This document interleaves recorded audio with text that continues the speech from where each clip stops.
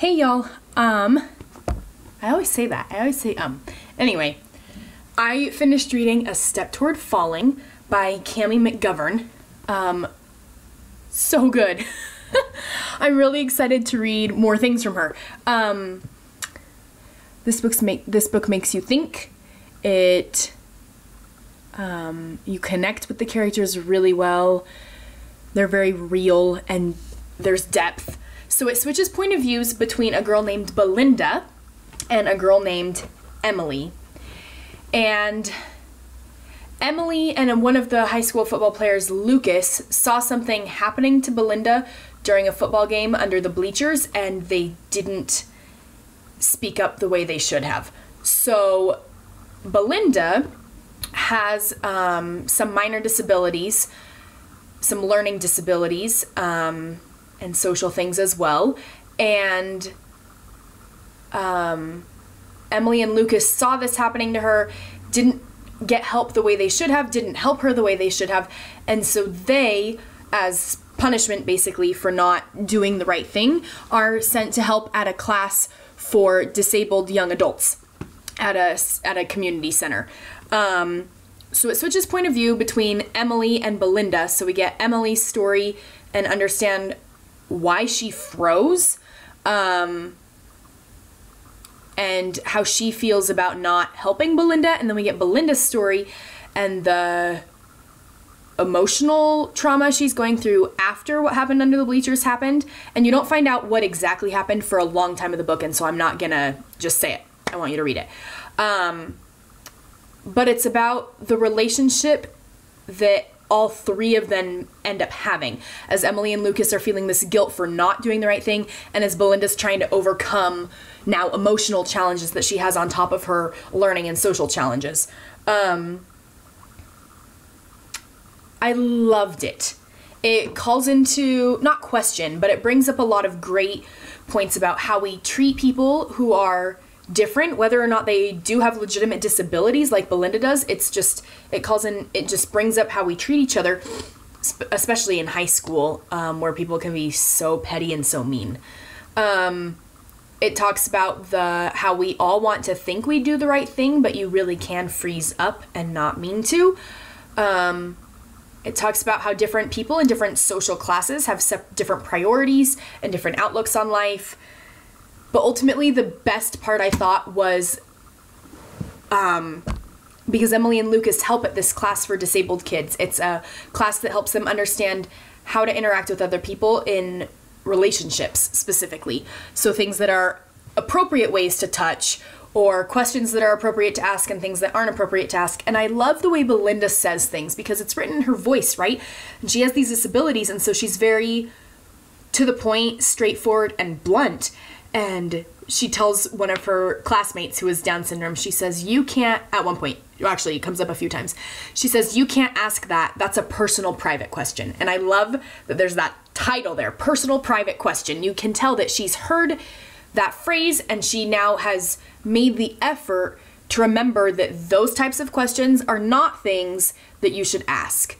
Um, they, it was just great. I loved seeing it from Belinda's point of view she has a real thrill for life and she doesn't let the traumatic thing that happened to her hold her back. She does deal with emotional trauma, but she ultimately gets to a point where she can overcome it. And Emily talks about how brave Belinda is, and I loved that. I also really loved Lucas's character. We never read things from his point of view, but you really do get to know him. And he is he's a great character, a really great character. All three of them were written really well. The side characters also had depth to them that was done well. Um, specifically, one boy who is very unkind to Belinda. You see their relationship from Belinda's point of view and the way she sees things, but then you also understand how the guy is feeling and you understand why he isn't being nice. Not that that justifies it, but you see the why. So even um, even the side characters were really well done. Um, Belinda talks about Pride and Prejudice all the time, which now made me want to watch Pride and Prejudice again. um, yeah, you fall in love with Belinda. Emily's so real and so relatable. and Lucas is, like I said, he's a great character. Really well written. Um, a lot of depth and backstory to him that you don't necessarily expect at the beginning, so it builds and grows, just like as Emily gets to know him, the reader gets to know him, and he just was a very well done character. I liked that a lot. I liked the way she wrote.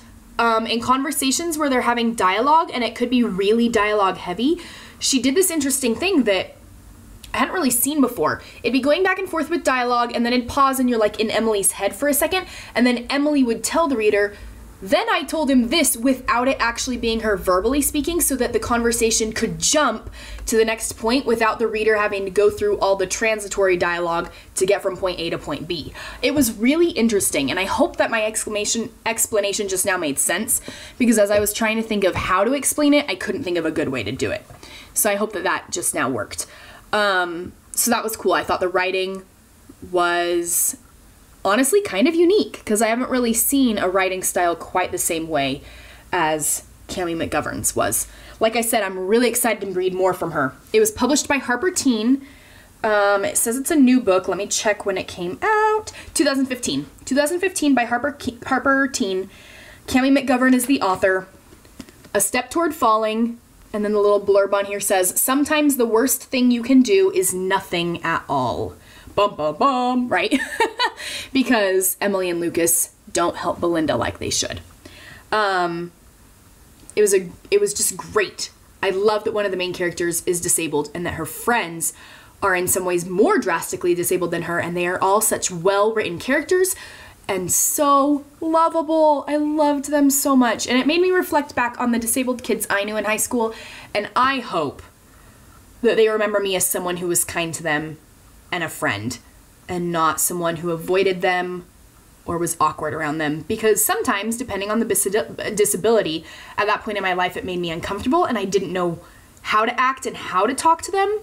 But then others I tried to befriend. There was one girl specifically who she was in my PE class and she kind of latched on to me I feel like but then I I was always her partner in partner things. Um, she kind of was like hey let's be partners but I was always like yeah okay, let's do it. Because PE didn't matter to me. I didn't care about winning the basketball game or the volleyball tournament or whatever. I was there to fill a credit. So I was totally willing to be her partner. And if she thought, and if she saw me as someone who was fun and kind and nice to be around, that's who I want to be. So of course I was going to be her partner. Um, yeah, that was a tangent. Sorry. Anyway, I love the way the disabled were portrayed in this, both in high school with Belinda and then also at the center where Emily and Lucas volunteer. You just get a wide range of disabilities, but every single one of those people is portrayed as a real person with emotions and personality and opinions and depth. It was very, very well done. Um, very well done. I really, really liked it. Definitely read it. The ending's super cute. The whole thing just oh, so good. Like I said, I'm really excited to read more from her because she is just a really great author. I hope that the I hope her other books have the same character depth and are able to handle some serious issues as well as this one did. So, highly, highly recommend A Step Toward Falling by Cammie McGovern. Keep reading.